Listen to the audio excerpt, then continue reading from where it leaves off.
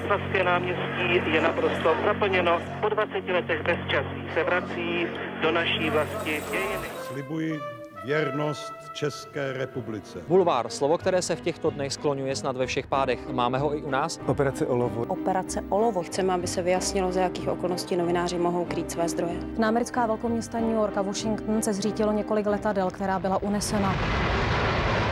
Andrej Babiš koupil mediální skupinu Mafra. Šest obětí koronaviru. Během dne zemřeli tři pacienti. Válka se poprvé v 21. století vrátila do Evropy.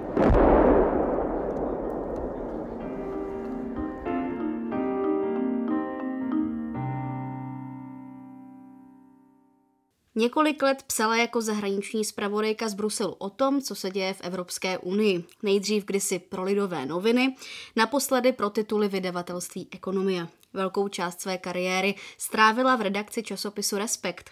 Tam pracovala i v době, kdy za své texty získala cenu Karla Havlíčka Borovského.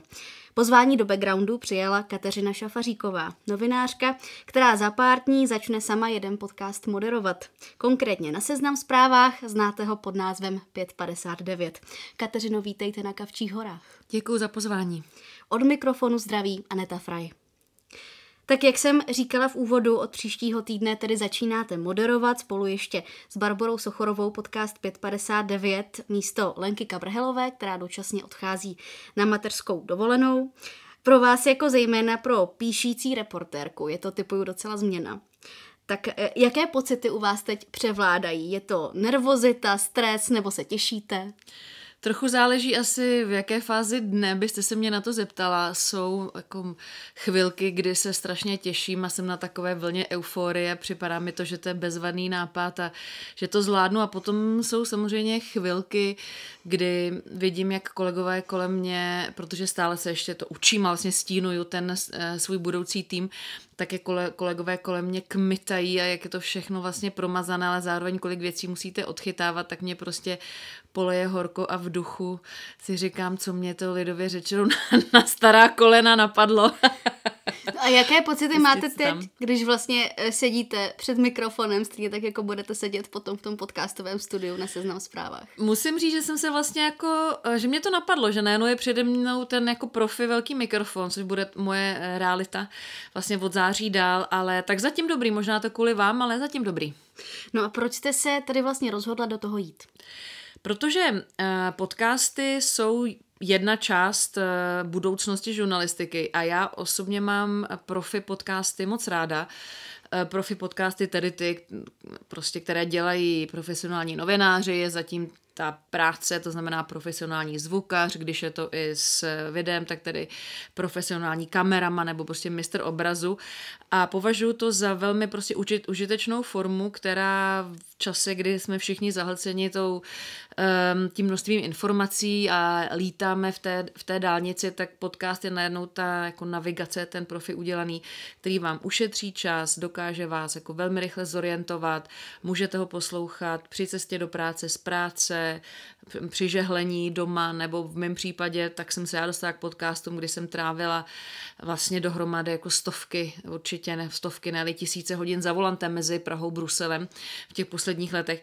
Tak eh, je to prostě užitečný formát a eh, v tomto smyslu mě pod ta nabídka seznam zpráv, kterou jsem dostala tady to moderovat, tak mě oslovila v tom, jak právě říká můj muž eh, z Legrace, takže na stará kolena právě se naučím něco nového, čili to byla kombinace naučit se něco nového a právě to, že ten eh, formát považuji za jeden z těch způsobů, jak nakouknout do budoucnosti naší profese. Mm-hmm. Jakou roli v tom rozhodování hrál třeba i fakt eh, té značky, toho, že jde o 559? To hrálo velkou roli, protože Lenka Kaberhalová, tedy zakladatelka um, podcastu 559, patří mezi, já vlastně nevím, jako nakolik mám používat kliše v tomto smyslu, jo, jako, jako nestory nebo nějaký guru té uh, audio, audiové novinařiny. A Právě 559 byl jeden z těch podcastů, které jsem poslouchala na cestě mezi Prahou a Bruselem, takže ano, oslovilo mě to velmi, že právě to je ten, jako, jak jsem říkala, profesionálně vedený podcast s naprosto promazaným týmem zatím, takže to byla samozřejmě jakoby klíčová věc. S moderací, jak už jsem říkala, začínáte tedy od začátku září. Jak dlouho už vlastně z vaší strany probíhá tedy nějaká příprava? Protože sama jste říkala, že tedy je to pro vás úplně nová disciplína. Dva týdny. Dva týdny jenom. Přesně tak. Prostě kdo se bojí, nesmí do novinaři.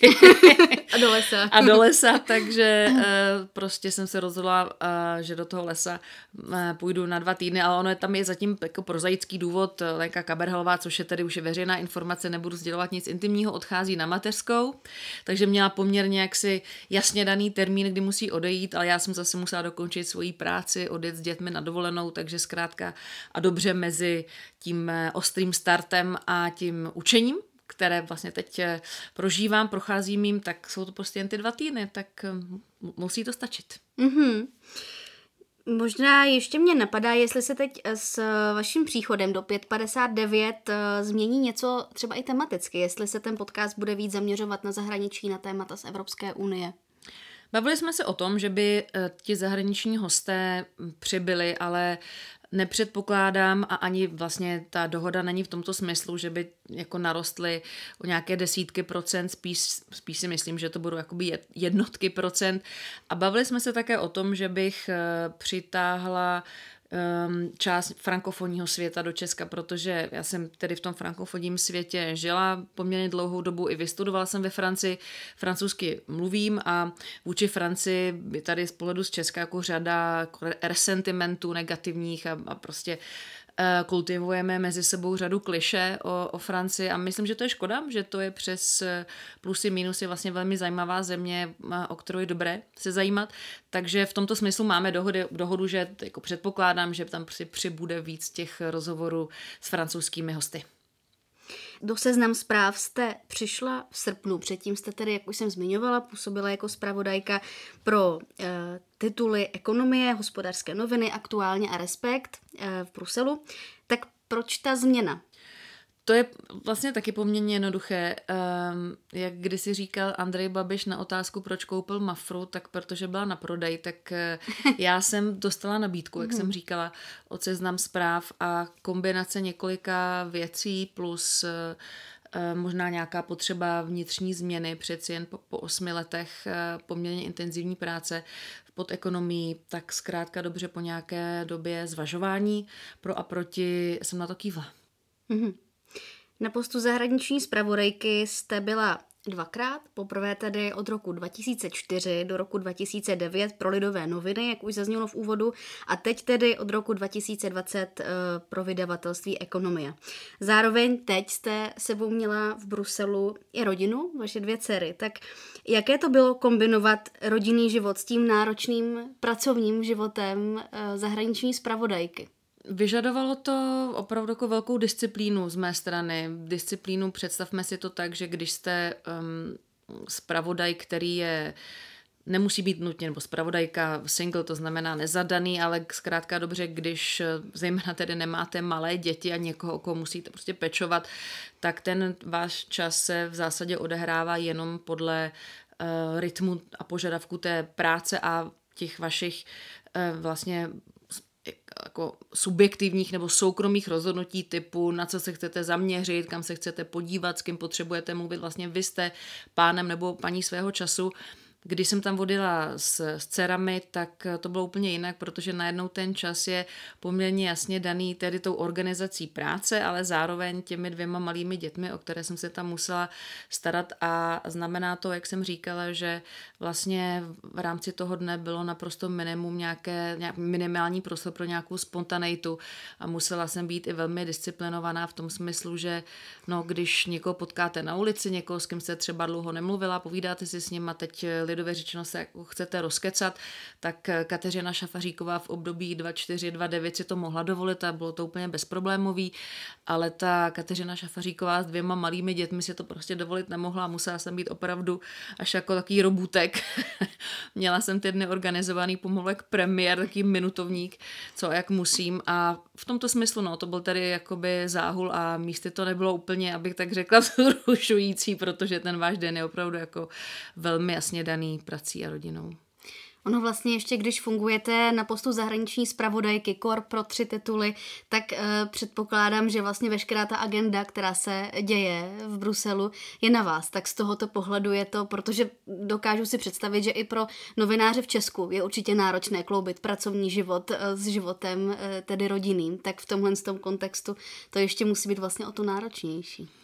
Bylo a nebylo. Bylo v tom smyslu, že bylo víc událostí, eh, které bych měla stíhat, ale um, nutno teda podotknout, že já jsem pracovala pro tištěná média, čili na rozdíl od kolegů, ať už tady z televize nebo um, kolegyně z ČTK nebo, nebo z rozhlasu, já jsem nebyla v situaci, že bych u všeho musela fyzicky v danou chvíli být a mohla jsem si taky vybírat. To znamená, na rozdíl právě od uh, zpravodaje, zpravodajky ČTK jsem nemusela pokrývat všechny denní události jenom kvůli tomu, abych je pokryla. Mohla jsem si zvolit že něco budu sledovat, něco budu sledovat zpozdálí nebo, nebo až zpětně.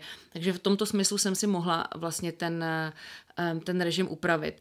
A navíc, eh, to je taky nutno říci, belgická společnost, protože prostě fyzicky žijete v té belgické společnosti, nikoli v nějaké jako anonymní Evropské unii.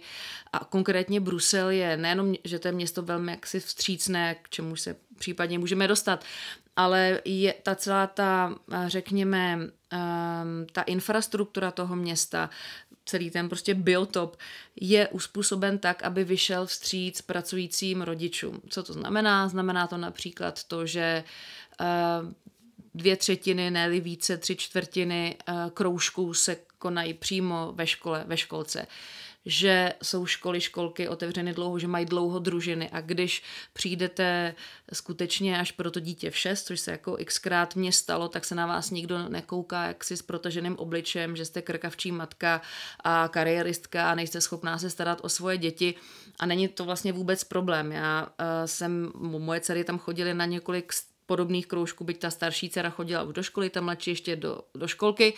No a běžně jsem je chodila vyzvedávat, nebo potom jsem měla babysittera nebo babysitterku o půl šesté, ve tři čtvrtě na šest a zpočátku s takovým tím českým instinktem jsem jako s hrůzou šla pro ně a říkala jsem si, že tam budou někde jako nešťastně vyset nebo, nebo brečet, nebo že tam budou sami a, a už se jako tam nebudu schopná, jako že budu muset chodit kanálama druhý den do té instituce.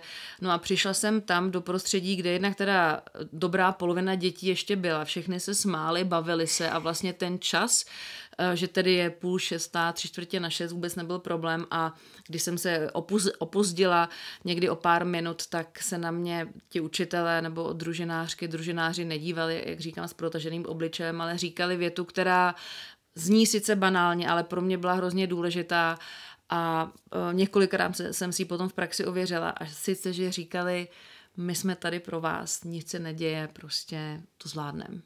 Mm-hmm. Takže vlastně v něčem paradoxně eh, to bylo jednodušší být novinářkou s dvěma malými dětmi v Belgii právě proto, že ta belgická společnost je zvyklejší ve všech ohledech toho slova na pracující matky, respektive na pracující rodiče malých dětí. Mm-hmm. Možná navážu, protože českých žen zpravodajek ale ve světě i tak uh, moc není. Um, Často asi i kvůli té zmíněné časové náročnosti, rodině, mateřství a tak dále. Co všechno by se podle vás tedy v Česku e, muselo změnit, aby se ten trend otočil, nebo alespoň, aby se vyvážil, aby to bylo 50-50? Musí se udělat několik změn a, a nejvíc tedy na straně zaměstnavatelů, eh, kteří prostě musí pracujícím rodičům, ženám vycházet vstříc. Dávám eh, vlastně dva konkrétní příklady, na kterých, na kterých je to nejlépe vidět. Bavila jsem se tam, to znamená v Bruselu, se svými kolegyněmi, ať už právě z Belgie nebo z Francie, z dalších evropských zemí, které buď měly nebo jako aktuálně mají nebo měly malé děti. A ty říkali, že v těchto zemích, které jsou v té debatě, jak pomoci mladým jako ženám, respektive jako teda mladým rodičům udržet si v novinařině tu pozici, tak jsou prostě mnohem dál než Česko.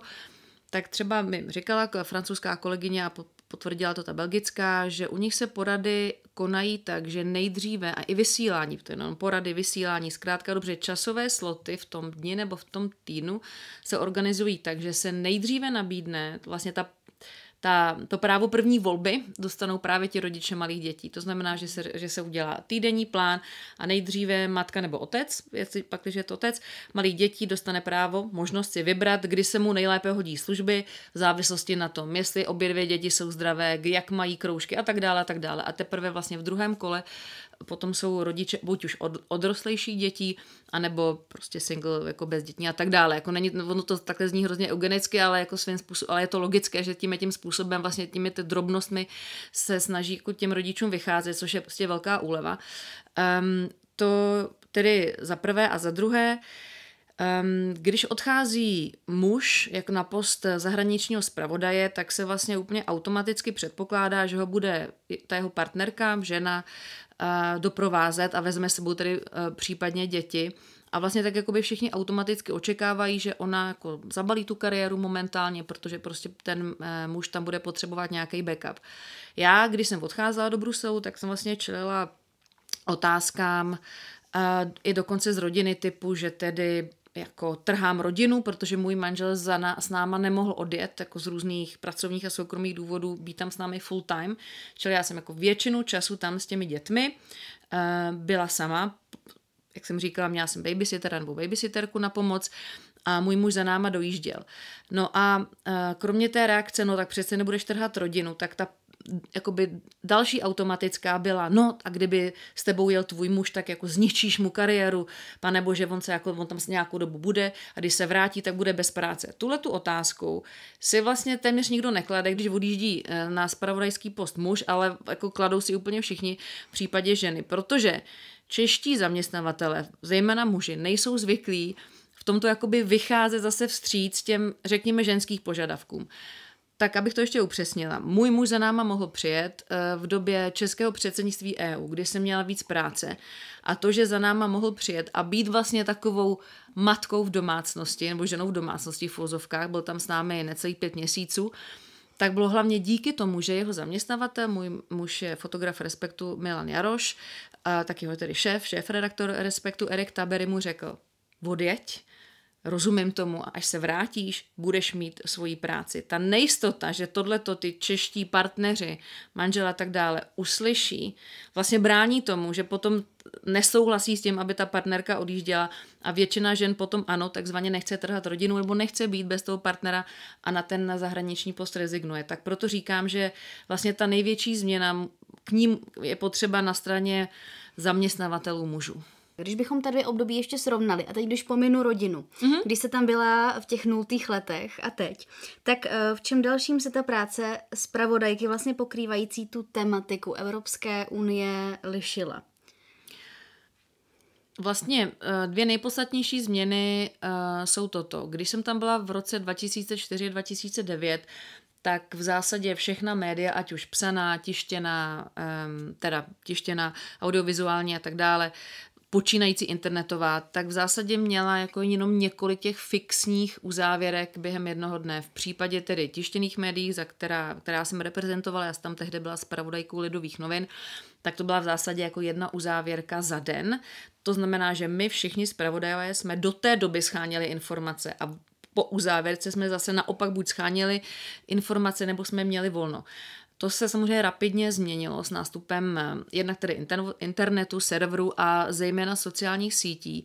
A z té práce se nyní stala kontinuální činnost 24-hodinová, která nutně neznamená, že logicky, že 24 hodin jenom pracujete, ale znamená to to, že události můžou přicházet téměř v jakoukoliv denní a, a noční hodinu a je jenom na vás a na vašem na médiu, šéfovi a tak dále, vašem týmu, eh, jestli tedy budete skutečně pracovat od sedmi do půlnoci, ve smyslu od sedmi od rána do půlnoci, nebo jak to zorganizovat. Ale prostě stala se z toho kontinuální činnost, která sebou samozřejmě nese spoustu jaksi stresu, otázek, zvyšuje to tlak na vlastně slučitelnost rodinného nebo soukromého jako života mimo tu práci a tak dále. To je jedna věc. A druhá, že se právě většina věcí přesunula do toho onlineového prostoru, což uh, svým způsobem je něco jednodušší. Dneska už spousta věcí se dozvíte jako na sítích, konkrétně na síti X, která je velmi důležitá v zásadě pro novináře,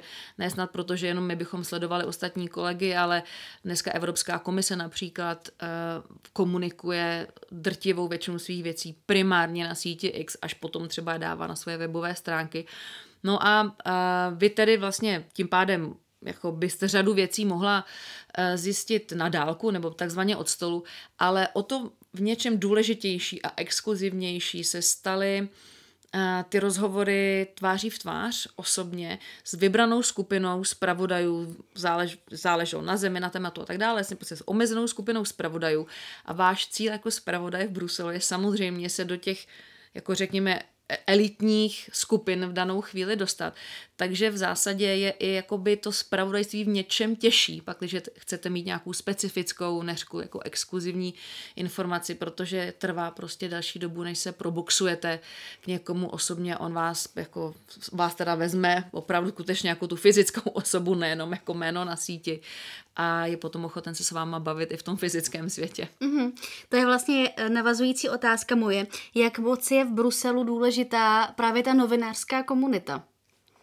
Je pořád důležitá, byť eh, v tom období 2004-2009, kdy jsem tam byla poprvé, byla daleko důležitější. Tehdy to bylo právě tak, že na ty pravidelné tiskovky Evropské komise, což je tež nejdůležitější instituce, tak vždycky jednou za týden při, po zasedání kolegia, kolegia je, a to do dneška je, Eh, velká tisková konference, kde se v tom tehdejším mém prvním období eh, jako setkávali skutečně jako vysoké stovky, ne více než tisíc novinářů z celé Evropy, respektive z celého, ze všech koutů světa. A bylo to geniální v tom, že to byla taková novinářská burza. Zase dám příklad. Uh, Řešilo se, co já vím, špatné čerpání fondů, ať už prostě v Česku nebo na Slovensku nebo obecně v těch jako tehdy přistoupivších členských státech a samozřejmě, že váš editor po vás chce jako srovnání, ať už s těmi dalšími nováčky nebo jaký je tedy obecně nějaký průměr nebo trend v těch starších zemích. No a nebylo nic jednoduššího, než se zeptat vedle vás sedícího italského kolegy nebo naproti stojící francouzské kolegyně, jak to je, nebo aby vám dali zdroj, kde si to můžete najít. Tak to bylo velmi praktické. Já jsem ty, tohle tu novinářskou burzu milovala a ačkoliv třeba ta samotná tiskovka byla jako velmi nudná a pro mě zbytečná, tak jsem tam šla právě kvůli tomu, abych potkala svoje kolegy. Tak tohle teď právě s nástupem eh, internetových médií a kvůli covidu, zdůrazňuji, opanulo. Tahle ta novinářská burza nefunguje v tomto uh, smyslu. Když jsou nějaké větší akce a sejde se víc novinářů, tak je to pořád skvělý. Můžete si takzvaně po staru vyměnit informace, typicky jako když jsou nějaké samity, ale um, jinak je to prostě dá větší práce, jak jsem říkala, být součástí nějakých jako omezených kruhů novinářů, kde je pozvaná jako skupina těch jako fyzicky existujících osob. A mně se to podařilo, Eh, nedalo to zas až takovou práci, ale ano, měla jsem výhodu, vlastně dvě výhody. Jednak, že umím francouzsky, protože Brusel je pořád prostě frankofonní město, hodně dominované francouzskou kulturou, francouzskou jaksi tím stylem byrokracie a tak dále. Ostatní Evropská komise tou organizací vlastně hodně se podobá francouzské byrokracii tak to prostě ne, jako nějaké lákadlo a potom to, že jsem byla už tam předtím, takže když jsem tam byla po druhé, tak už jsem věděla případně komu se ozvat a říct, hej, pořád žiju a jsem znova tady, tak mě dej na svůj tajný mailing list. Když jste zmínila ty sociální sítě, tak právě nejspíš i díky nim koluje v Česku o Evropské unii spoustu hoaxů, hmm. ať už jsou to křivé banány, zákaz křečků a podobně. Tak je to jen těmi sociálními sítěmi, nebo je to i tím, že je vlastně fungování Evropské unie jako takové velmi složité, a, nebo že se třeba česká média těm tématům Unie málo věnují v celku? Uh, jednoduchá odpověď na vaši otázku je B. Eh, euromíty fungují stále, byly před sociálními sítěmi, jsou dnes a budou i po sociálních sítích, podle mě, i když nás všechny ovládne AI a tedy nás novináře nahradí umělá inteligence, tak stejně budou euromíty fungovat. To je tak nějak asi jednak v povaze v tom, že se chceme bavit, potom Evropská unie je, jak jste říkala, právě komplikovaná, složitá, ne úplně často se o ní tady informuje, tak to logicky k tomu svádí. A samozřejmě je tady část prostě euroskeptické, ať už politické nebo obecné veřejnosti, která, která to má ráda, takže euromíty fungovaly i za kamenné doby a budou fungovat dál. Mm-hmm. My jsme spolu v jednom rozhovoru pro Newsroom uh, si v roce 2020 povídali právě před vaším odjezdem do Belgie a vy jste mi tehdy říkala, že v Bruselu není prakticky možné, aby novinář přinášel vlastní zjištění ve smyslu klasické investigace. Tak uh, platí to pořád? Myslím, že to platí pořád. Když se podíváte za, jako na ty poslední čtyři, nebo řekněme tedy těch pět let toho minulého legislativního období, tak v zásadě ehm, korupční v tomto smyslu investigativní případů eh, bylo velmi málo. Možná si posluchači vzpomenou na Qatargate, tedy případ uplácení evropských poslanců ehm, státy Perského zálivu. Eh, ale to byl vlastně takový jako velký případ eh, za posledních pět let. Potom abych zmínila seniorního kolegu, vlastně velmi známého, takovou jako ikonu z těch bruselských novinářů, Jean Kattermer, zpravodaj francouzského deníku Liberation, tak ten například odhalil článek nebo odhalil věc, kdy se Evropský soud snažil přikrýt, zakrýt případ jednoho soudce, který byl obviněn ze znásilnění kolegyně. Ale to jsou skutečně tyto dva případy za ty jako čtyři roky až pět uh, jako registrů, že byly jednak odhaleny novináři, nebo bylo, nebo jako, ano, první o nich začali informovat novináři, stala se z toho jako relevantní věc potom investigovaná policií a vedlo to k nějakému závěru. Proč? Protože uh, Brusel je prostě mezinárodní prostředí, takže tam úplně taková ta klasická domácí investigativa nemá uh, svoje místo a potom je to komplikovanější, že? Takže některé věci se tam naopak s nás schovají, takže i proto je to vlastně té korupce je tam jakoby na první dobrou méně. A po třetí, no upřímně, přiznejme si, když se podíváme na statistiku korupce, ať už v Česku nebo na Slovensku, nebo i potom jakoby ve Francii, tak právě v těchto zemích je potom vyšší než v tom mezinárodním Bruselu, eh, který, který možná přitahuje lobbysty, tím pádem se občas stane, že se snaží, snaží někoho podplatit. Ale takové to klasické, um, ta klasická korupce, přihrávání si veřejných peněz v případě třeba stavebních zakázek, tam nejsou. Mimo jiné kvůli tomu, že Brusel samotný jako město je vlastně velmi chudé, má malý rozpočet a většina těch peněz sedí obrazně řečeno v těch národních státech a v těch metropolích, takže bych tady chtěla varovat všechny potenciální korupčníky, že Brusel není ta správná adresa. Za chvíli se od Bruselu už dostaneme o kousek dál. Ještě mě napadá otázka taková zhrnující. Co vás vlastně na tom Bruselu tolik baví? Je to velmi vstřícné mezinárodní město, což opět jako může znít z mé strany jako strašný kliše, ale um, je to město, kde je v zásadě každý člověk nebo většina lidí jsou cizinci. To město se neustále obnovuje, ta, ta populace tam, protože právě protože je tam Evropská unie, tedy sídlo Evropské unie, ta centrála, ale i NATO a dalších mezinárodních organizací, tak to město je zvyklé na to, že někdo přijede na dva, tři, čtyři, pět let, potom odjede. Furt se tam mění lidé a asi nějakým přirozeným instinktem, jako v, po, v povaze člověka je, že když přijede někam do neznámého prostředí, tak chce především přežít. A chtít přežít znamená to, že se a priori chováte spíše vstřícně, snažíte se spíše s každým dohodnout, představit se, být milá, milý a udělat si kolem sebe nějaký jako okruh přátel, nějakou bezpečnou zónu. A přesně tohle se v tom Bruselu děje. Čili Neřekla bych, že kosmopolitní Brusel je vlastně stejně vstřícný jako kosmopolitní Paříž. Ne, Brusel opravdu jako výjimka v tom, právě proto, jak se ta populace mění, jak jsem teď uh, řekla, tak je opravdu taková, takový jako měkký polštář a my jsme se tam a i moje dcery velmi záhy cítili jako doma právě proto, že jsme tam nenarazili na něco, že by na nás jako někdo ukazoval protažený obličej nebo ukazoval ty ostré lokty někde v té homogenější společnosti. Tak proto vlastně Brusel jsem měla už tehdy a teď s dětmi jsem to intenzivněji cítila, tak o to víc ho mám ráda po té své druhé zkušenosti. A z toho novinářského pohledu? Jestli je Brusel dobrá adresa? Co vás na něm baví? Jednak to, že já jsem dlouhodobě se věnovala, vlastně věnuju stále a budu věnovat, bych měla zdůraznit i e, na seznam zprávách, psaní o Evropě, ať už myšlence, instituce, tak kontinentu. No a pak, když píšete o, něco, o něčem, co má centrálu mimo jiné v Bruselu, tak mě samozřejmě ten Brusel z tohle důvodu uh, přitahoval. A potom nevím, jestli se nebudu opakovat, ale právě proto, že vlastně na malém prostoru Brusel je rozlohou třetinu než Praha, nebo třetina Prahy, tak vlastně velmi malé město, byť obyvatel má zhruba stejně, ale je takový jako nahuštěný, tak vlastně na malém prostoru máte celou Evropu, respektive celý svět jak na dlaní, tak mě hrozně bavila ta mezinárodní komunita. Moje jedna moje dcera, nebo ta moje mladší dcera, tak třeba, když jsme odjížděli z Bruselu, tak její nejlepší kamarád byl Islandian, Agnar, stejně starý, prostě šestiletý, takový jako viking budoucí, dospělý a to mě na tom vlastně bavilo, no, že tam jako potkáte příběhy a přátelé a, a, a prostě jako reality z celé Evropy.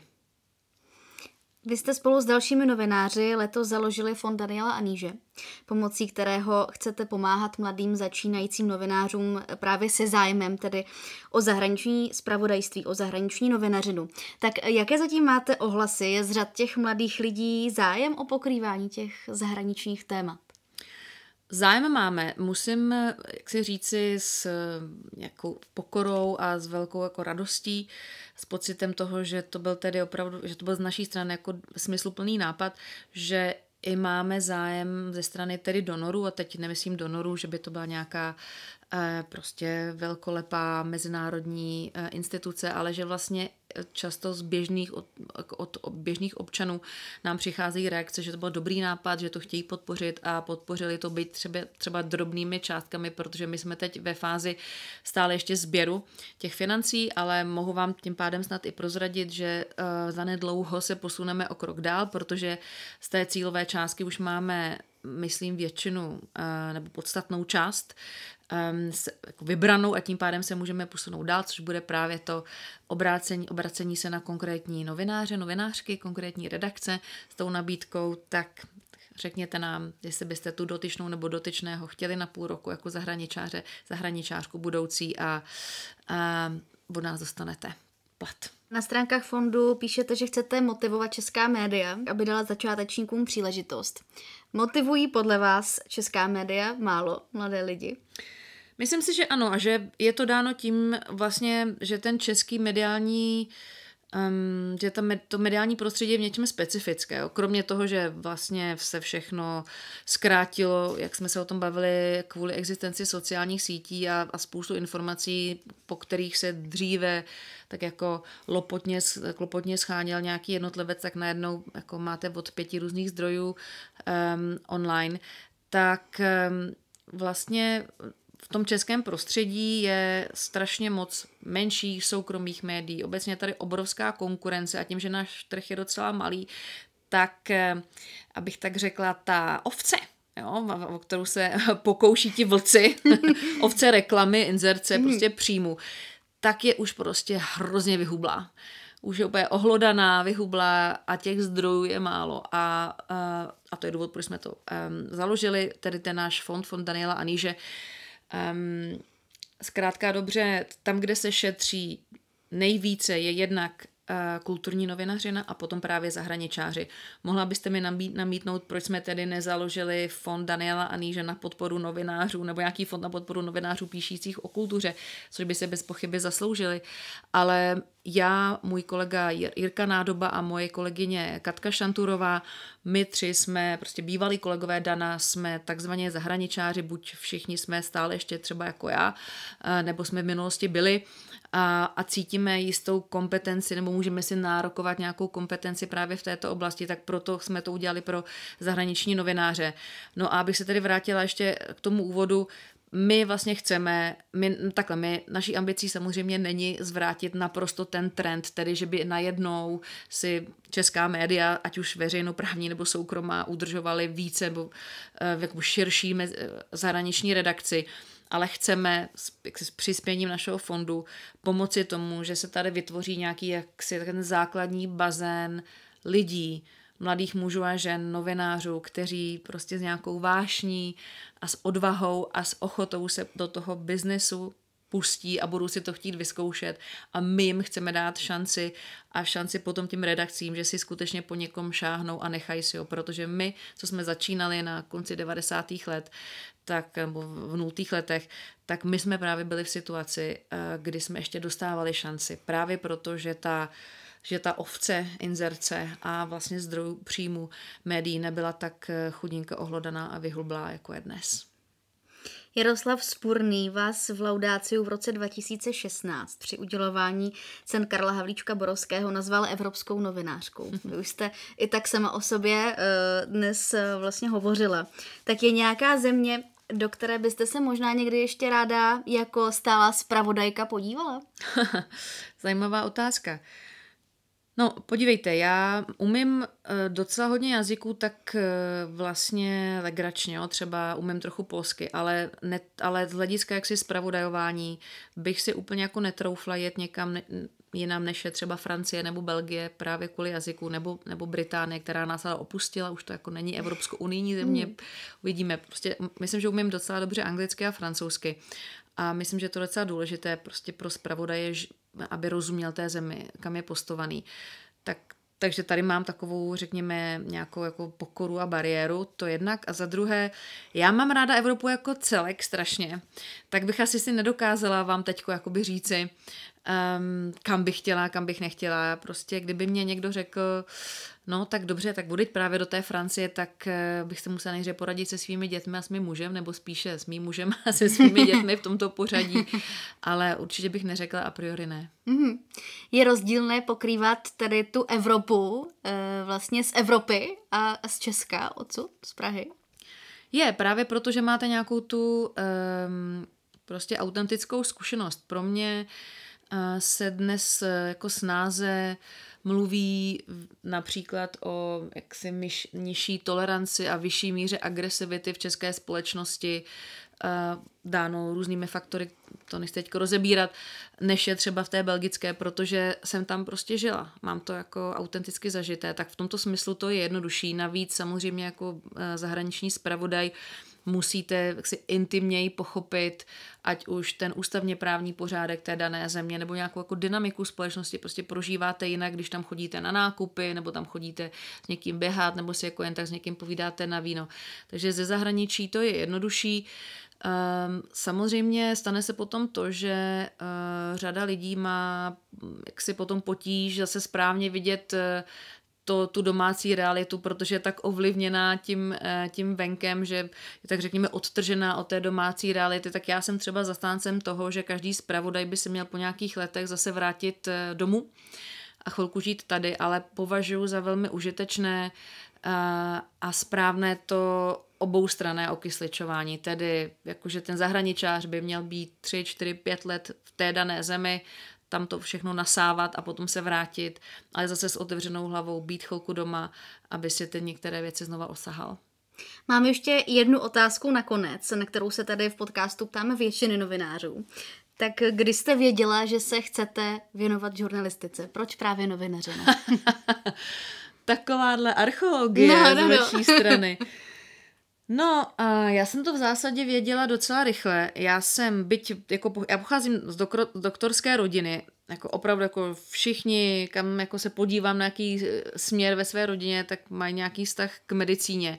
Já jsem v tomto smyslu věděla už jako poměrně záhy někde na konci základní školy, na začátku střední, že nechci být jako lékařka. Mě ten, ten obor mám jako ve velké úctě, ale zároveň mě nikdy nelákal v tom smyslu, že jako já bych v něm mohla uh, něco přinést. Ale někdy na, jako v průběhu gymnázia jsem napsala článek do gymnaziálního časopisu, který tehdy rezonoval, byl takový mm, jaksi buřický nebo rebelský, vůči něčemu se vymezoval a a no a spousta spolužáků mi potom řekla, že to bylo dobrý, jako, že, jak jsem to takhle jako napsala, že jsem to jako řekla. A ať zase někdy něco napíšu, že jak užitečně by náš hlas někde takhle zněl. A možná tehdy ve mně někde, někdy zahnízdilo to, že je jako dobré eh, přinášet něco nebo zprostředkovávat něco mezi jako jednou nějakou realitou a čtenáři, tak, eh, takže v zásadě jako už na Gimplu jsem věděla, že nechci dělat nic jiného než novinařinu. To byla Kateřina Šafaříková. Kateřino, já vám moc krát děkuju, že jste k nám přišla. Hodně štěstí za mikrofonem. Mějte se hezky a nashledanou. Tak já děkuji moc, děkuji moc posluchačům a děkuji samozřejmě za pozvání. A já ještě připomenu, že tento i další díly backgroundu si můžete pustit v podcastových aplikacích na YouTube a v i vysílání České televize. Hezký den přeje Aneta Fraj.